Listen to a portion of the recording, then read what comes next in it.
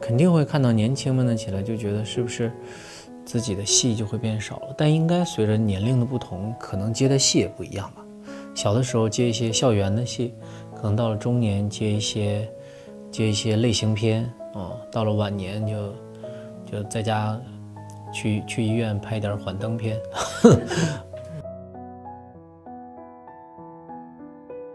我会跟演艺圈说你很好，我还在。从目前来看，作品可能会塌，演技未必优秀，但只能用娱乐精神扶我上青云。我觉得在我就是演员这个舞台上，就是应该去被大家议论的。你已经做好准备去接受大家审视了嘛？所以我就觉得我会去，就是看一些客观的话。对我的客观的评价，只要要演戏，我觉得所有人的衡量标准都是一样的。所以我一直也觉得没有代表作，嗯，然后呃不好的声音，其实我觉得太正常了，每个人看都有自己的看法嘛。然后后面后继乏力，我是觉得就是很少有演员真的能步步都是代表作，这太难了，我觉得。这也扯到很多，一个是自身的原因，二是天时地利人和，我觉得各种原因吧，嗯，但是自己肯定有自身的原因，就继续努力呗。会压力挺大的。上一次跟包贝尔老师演《钢的琴》的时候，然后就是在排练的时候，然后宋文老师就突然说：“你们要不要即兴来一遍吧？”对，然后我们就即兴来了一遍，然后没想到老师觉得效果还不错，就真的搬在舞台上。使用了这个即兴的方式，所以当时心理压力真的是特别大。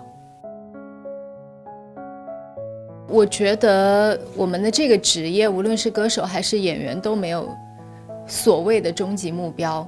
对我觉得全方位的发展才是终极目标。那有哪一种类型的戏剧是你接下来最想要尝试或者是想要挑战的？我觉得我可以能驾驭的角色，我都想去挑战吧。现代、古代、当代都可以。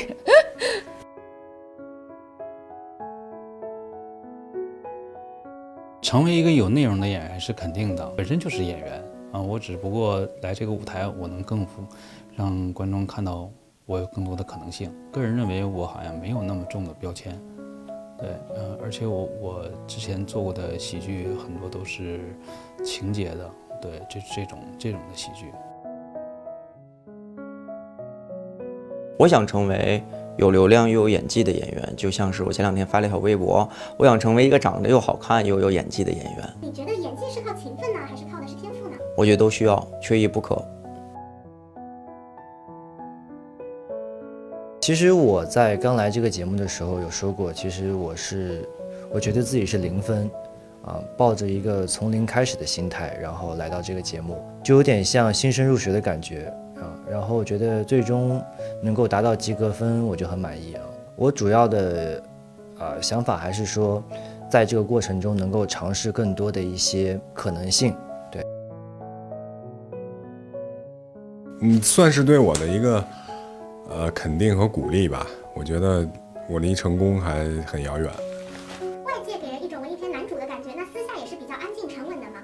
看情况，我要是跟朋友。家人在一起，我就没那么安静。不是摆脱，也不是证明，是来学习自己到底能不能做一个合格的演员。